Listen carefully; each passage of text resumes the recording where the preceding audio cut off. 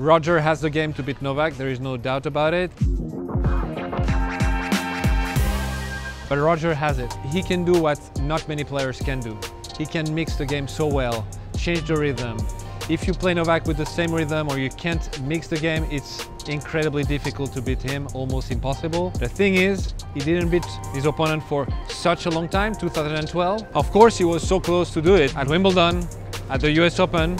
He had match points several times, but it didn't do it. So we know that he's close in terms of game. Well, we know he's able to do it, but the mental side of it, the fact that he didn't beat him for so long is gonna count for sure. So mentally, we all know that Novak is the super favorite of the match against, uh, against Roger. So it's going to be difficult to handle, but the only way to handle that pressure is to have confidence. And at the moment, he is confident, he's playing well, he's won the ATP Cup playing good matches, winning important matches. This in, on the build-up of a Grand Slam is, is incredibly important.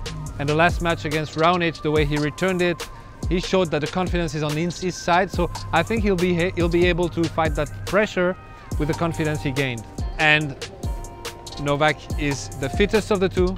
The physical of Roger is the big question. Uh, we've seen in his previous match that he was already suffering so much physically. I think he's waiting, waiting, waiting uh, last moment to see how he feels.